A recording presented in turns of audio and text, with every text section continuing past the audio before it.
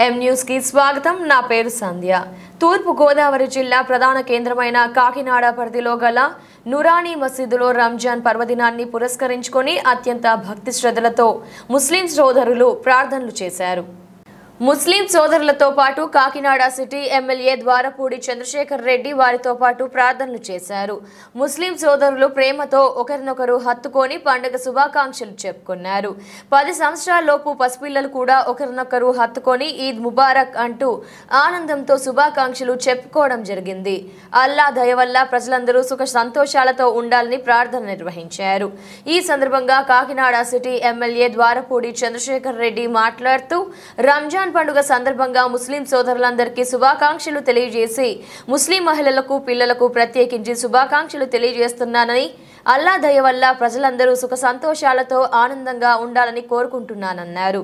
YS Jagan నాయకత్వంలో మా ప్రభుత్వం ఎల్లప్పుడూ మైనార్టీ సంక్షేమం కోరుకుంటుందని ముస్లింలకు ఏ విధమైన ఇబ్బంది ఎదురైనా మా ప్రభుత్వం అండగా ఉంటుందని భరోసా ఇచ్చారు ఉన్నటువంటి ముస్లిం సోదరులందరికీ కూడా రంజాన్ శుభాకాంక్షలు తెలియజేసుకుంటాము మీ అందరి ఆశీర్వాదాలతో మొన్న జరిగినటువంటి ఎలక్షన్లో కాకినాడ సిటీ నియోజకవర్గానికి నేను అదేవిధంగా కాకినాడ రోడ్ నియోజకవర్గానికి మన ప్రసాద్ కన్నబాబు గారిని మీరందరూ కూడా అఖండమైన మెజార్టీతో గెలిపించారు.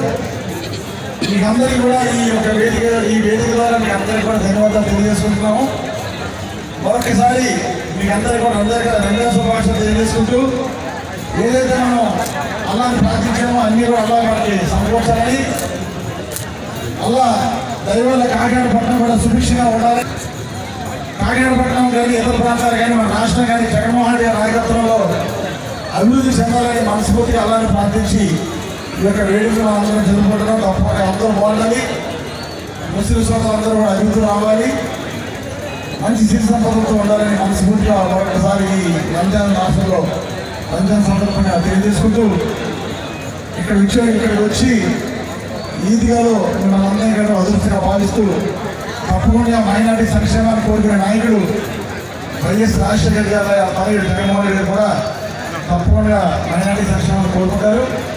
ముస్లింస్కి సంబంధించి వైఎస్ఆర్ పార్టీ ప్రభుత్వంలో మంచి అభివృద్ధి చెందుతుంది ఈ కమ్యూనిటీ అని చెప్పేసి మనస్ఫూర్తిగా తెలియజేసుకుంటూ వైఎస్ఆర్ పార్టీ ముస్లిం ప్రజలందరికీ అదేవిధంగా పార్టీ నాయకులకి అందరికీ కూడా పేరు పేరు ధన్యవాదాలు తెలియజేసుకుంటూ మరొకసారి కాకినాడలో ఉన్నటువంటి ముస్లిం సోదరులందరికీ రంజాన్ శుభాకాంక్షలు.